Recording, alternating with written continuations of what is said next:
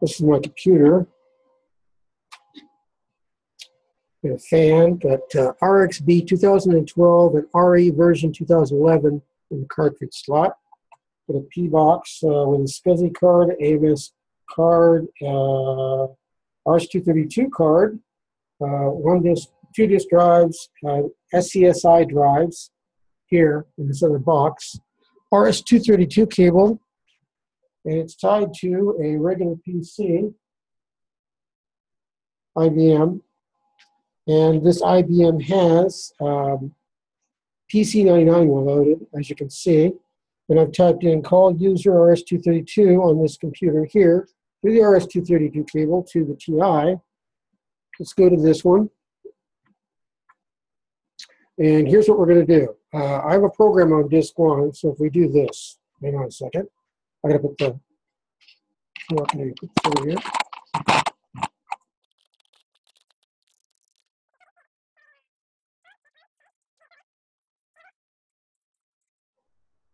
I don't know if you can read that or not.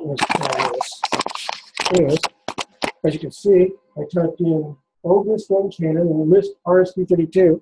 Let's go into the RS-232. So let's push enter. Okay, and then we go over to the PC over here. We'll push enter.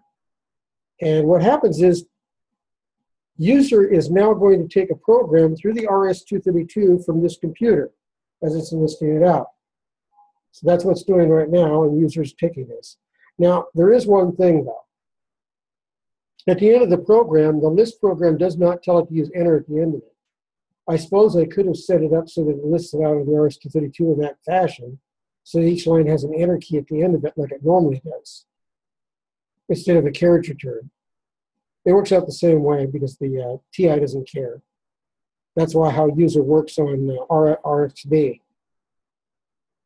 So there's the end. Now what we have to do now is we have to fix it over here. And how I do that, just a second.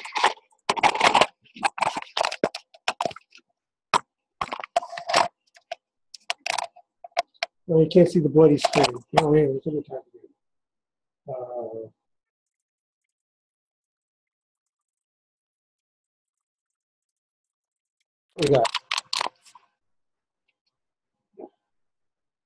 I have to um, I have to type in R, open number one, RS-232 output, then I have to print out character 13. And the reason why is so it'll end the program in the, the other computer.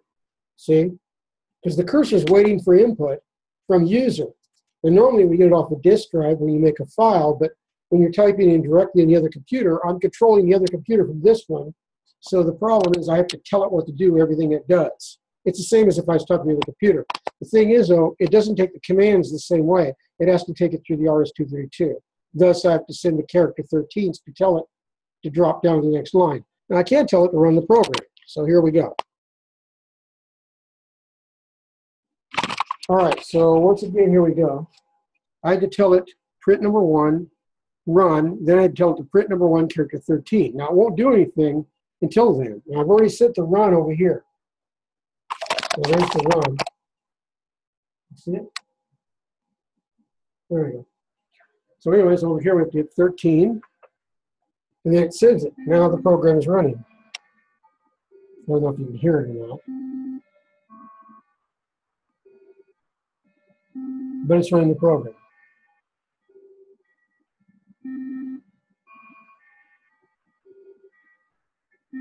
Now, we can go the opposite direction. And I can do that is escape, Q, enter. Then I can run PC99 again.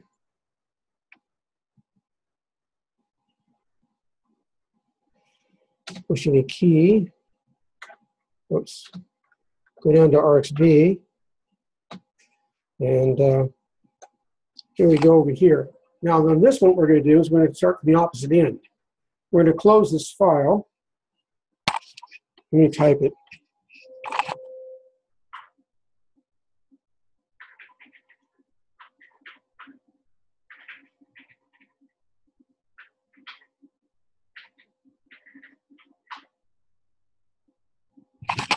Okay, so we typed call user RS-232. So now this is doing the exact, exact same thing I was doing in the other one, the TI is doing it this time. So we have the TI doing what I already had the other one do. So we're doing it the opposite direction. So here we go.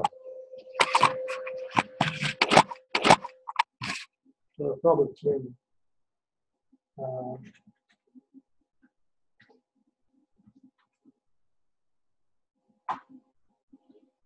All right, so what I typed is open number one, RS-232 output, print number one, call clear. As you can see over here, call clear is sitting here on the screen.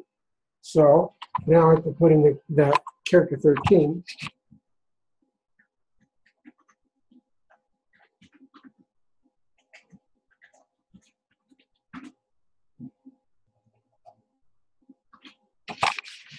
So there's the print character 13, and it hasn't hit yet. So let me push the enter key. And there you go. We did a call clear in the other computer. So I'm controlling this computer from this one. I'll go either way, back and forth.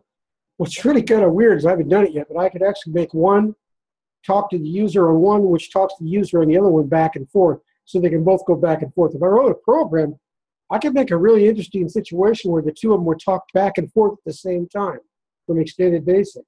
It would be kind of weird. One is controlling the other one, which is controlling that one, which is controlling that one, back and forth. Kind of be kind of fun to do. I haven't done it yet. I'm going to do a uh, version of that in the future. But let's do something that RxB can do. Here, hang on a second. I got to put this down for a second.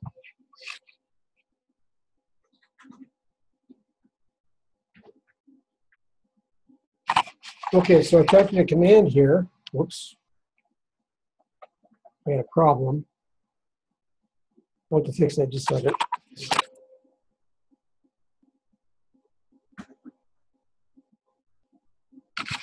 All right, so I had a problem here. So here's what the command is. Print number one, call cat. Now I have to put the string within a string, so it's going to be three quote marks. So here we go. And for some odd reason, it didn't send the command.